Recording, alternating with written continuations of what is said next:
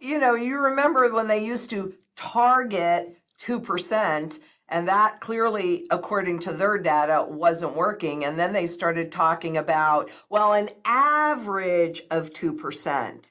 And when they came out with that, what I knew was they were preparing for much higher inflation, and we'll use that, but it's an average. Uh, so we were expecting it, and that's exactly what we're seeing now, right? The markets are concerned about the 10 year uh, got up to what 1.75 today which doesn't sound that high but it was only 0.66 you Right. know I mean, historically not high, but it's a 14 month uh, high. So Ex- exactly Right. and you know and what do they say the fed is saying no it's because the economy is just growing so well um, when they're pumping so much money into the system so yeah i, th- I think they could be losing uh, control So does this tie in because how do they regain control? What what tools do they have in the toolbox to do so here, Lynette?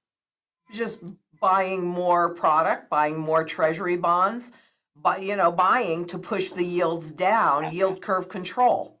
And that's really that's the problem. They're actually out of tools. Uh, one of my very favorite pieces that the I and I've read a lot of them that the IMF ever, ever did was 2015 how to break below the lower zero bound. And in that, they showed us a very simple technique uh, that would take the that would get us, the public, to volunteer the cash. And actually, I would say that that's it's been going on for a long time, but I think that that really ramped up in 2020. Remember how dirty cash is with the coronavirus? Though I've never heard of anybody catching coronavirus from using cash, but the way that they said they wanted to do it was through the retail uh, stores. So, and I can tell you that I see a number of retail stores that say no cash, debit or credit only. And so that gets us to volunteer. The store itself has no real idea of how they're executing the Federal Reserve's plan or any of the central bankers' plan because if you read their documents, they say this consistently that they want distance between their policy and how that policy is introduced to the public so that the public doesn't really know that it's central bank policy. You know, here's the problem for, for the central banks.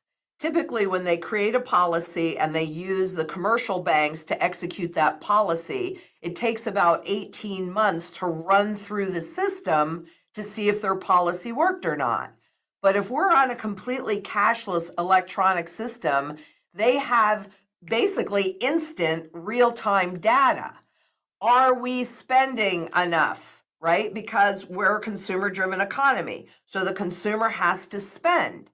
And if we're not spending enough, if we're trying to save because maybe we're not comfortable with our income coming in, you know, we're, we're uncertain. These days, there are a lot of people that are uncertain about their future income. So we see the savings rates go up, but then they're not out there spending. So if we have no cash to hold principal, because it doesn't hold purchasing power, but it does hold principal nominally anyway, uh, then they can simply push a button and instantaneously you can watch any money that you have in the bank start to evaporate from negative rates.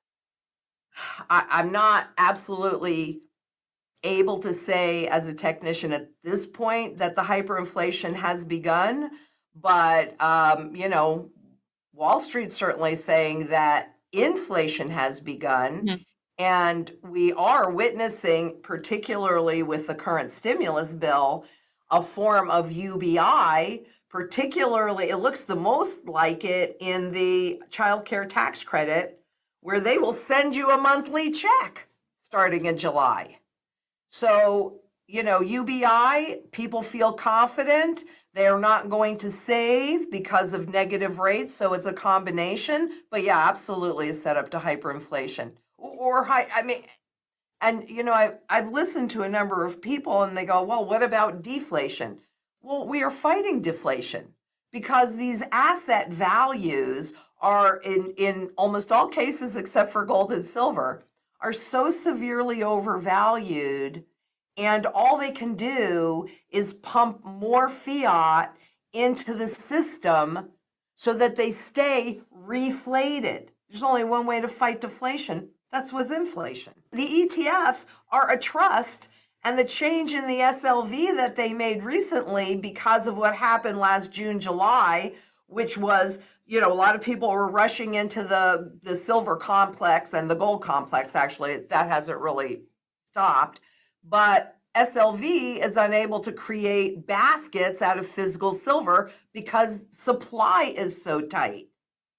And they had to change their prospectus to reflect that. Oh, well, that depends on your personal circumstance. So for example, I can speak, you know, to myself and and you should know too. I've been doing this on some level since I was about 10 years old in, in, all different areas. So, and I'm 66, so I've seen and lived through a lot of history, including a monetary regime shift. So, that definitely does color my view. For me personally, I think that everybody needs to be absolutely as independent and self sufficient as possible. So, I have my mantra food, water, energy security, barterability, which for me is silver, wealth preservation, which for me is gold, community, and shelter. Because no matter what's happening in the economy, these are the things that we need to, sustain a reasonable standard of living. So I make sure that all of that is covered. And then what am I going to do? Buy stocks buy things that run counterparty risk when I am three gazillion percent certain that we are already walking through a reset. So, uh, you know, I'm all in. I mean, I'm all in, but I have a higher level of comfort than most. And right now, I want to be outside the system. And a lot of, you know, a lot of clients at ITM, they have Bitcoin, but that for me is more speculative I've been watching it since 2009, came out in January of 2009. Uh, there was, I've read the 1996 NSA paper on how to create cryptocurrencies. So this is not really a surprise. My opinion is that uh, these were created to get us used to this digital system and so I would imagine that at some point I will go into it myself, but I'm going to wait and see what happens until the dust settles because I know that gold has a proven track record. Cryptocurrencies do not have a proven track record yet.